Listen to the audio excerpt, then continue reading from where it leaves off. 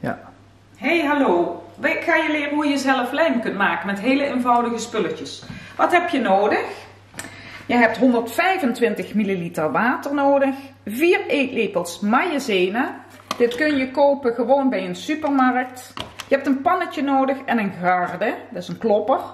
En daarna een theelepeltje azijn en een leeg potje. Wat ga je nou doen? Je doet die 125 milliliter water doe je in je pannetje. Steekt het vuur aan. Niet te hard. Het is maar één minuutje werk. Daar doe ik dus 4 eetlepels maïzena in. 1, 2, 3, 4. Dit ga je kloppen. En als je ziet dat het dik wordt, doe je hem in een potje. Gaat het nou te snel, doe je er gewoon een klein beetje water bij.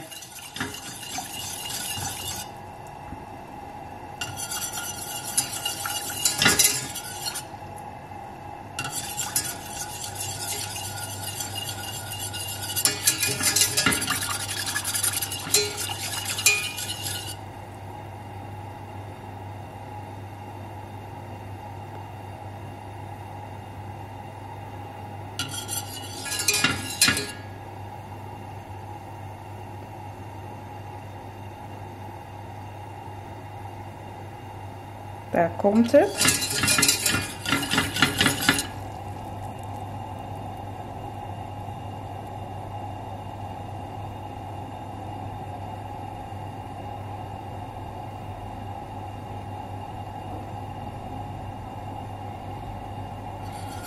Ja, dan wordt hij al dikker. Ja, vuurtje uit. Goed doorkloppen. Goed doorkloppen. Nou wordt het een beetje te dik, doe ik er toch een klein beetje water bij, zonder dat ik het vuur aan heb. En ik klop eventjes door, zodat ik de juiste dikte heb. Ik vind deze nog een beetje dik, doe er nog een beetje water bij.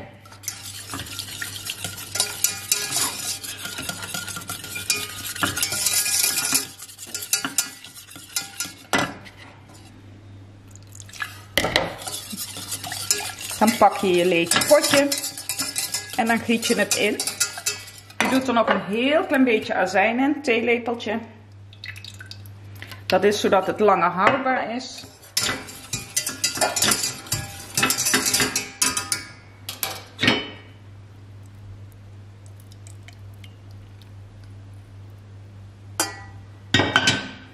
En je hebt je eigen lijm gemaakt.